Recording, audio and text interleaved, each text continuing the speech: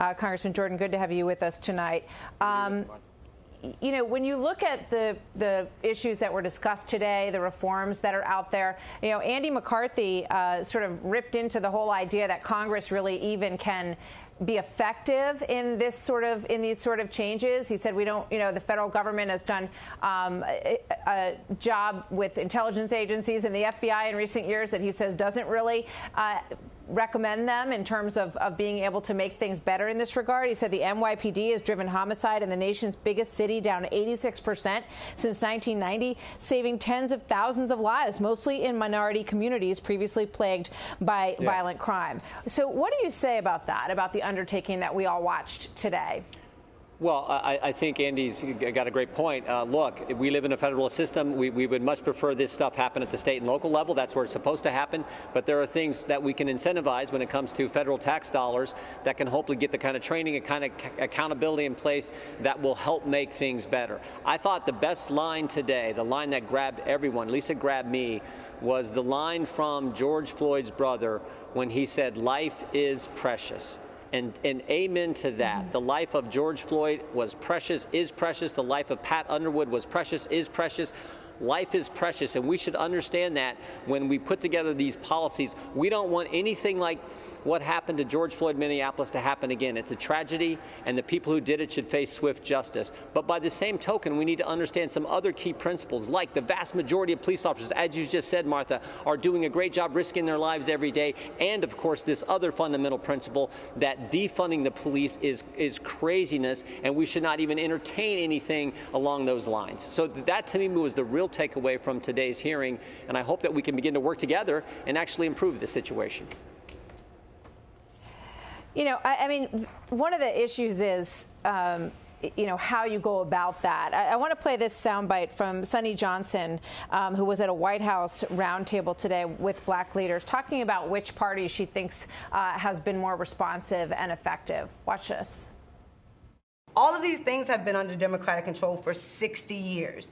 And they are not going to change until you, we have a Republican Party that is willing to go into these communities and actually offer a choice to these people about how we can do things differently. Because the way it is structured now, the only choice that we get is left or either further left.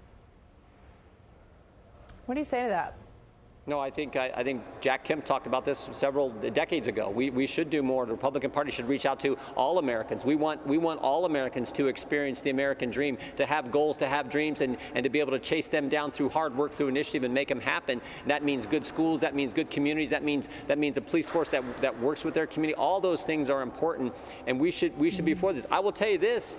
This administration did the First Step Act, which was the first, the biggest major reform we've had in, mm -hmm. in prison reform that helps all Americans, but certainly impacts the African American community. This administration, prior to the coronavirus, was leading the, the, the, the amazing economy that we had, that had the lowest unemployment in 50 years for all Americans, all Americans. So th that is the kind of thing that makes sense, that is just good for this country, good for this, this the greatest nation in history. So uh, I think those are the kind of things we do need to focus on, and we all need to right. work on making sure the country is moving in the right direction.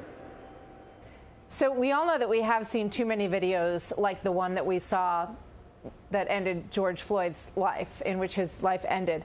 Um, what do you think are the most effective reforms? What do you think could be produced from Congress that would have an impact nationwide that would make individuals who are capable of that kind of treatment of another human being, A, be, you know, either be kicked out of the police force or, or B, never make it into the force in the first place. Yeah, I mean, you, you got to think, and look, we're working with everyone. We're, we're talking with people in the Justice Department, people in the White House, people in the Senate, and we're talking with, with, with our, my Democrat colleagues to try to come up with how we can incentivize, use federal tax dollars to, to help states and, and, and localities move in the right direction and accomplish it. It's accountability, it's transparency, it's, it's proper training. All those things are important, and let's look at ways we can foster and promote the very best practices so that, again, what happened to Mr. Floyd in Minneapolis never happens again. And by the same token, what happened to Pat Underwood never happens again as well. So let's let's let's focus on working together to actually make that happen. I think you saw that in the hearing today. Um, that's that's that's the vision I have and the mission I have. The president said it best a week and a half ago He said, healing, not hatred, uh, justice, not chaos. In his speech he gave in Florida a week and a half ago, that should be our mission. Healing, not hatred, justice, not chaos. Yeah. That's, that's the hallmark of the House Judiciary Committee with its storied history of defending the Constitution and, and defending the rule of law. Let's do all that, but let's do it together for the good of the country with respect uh, for everybody on all sides. Thank you very much, Congressman Jordan.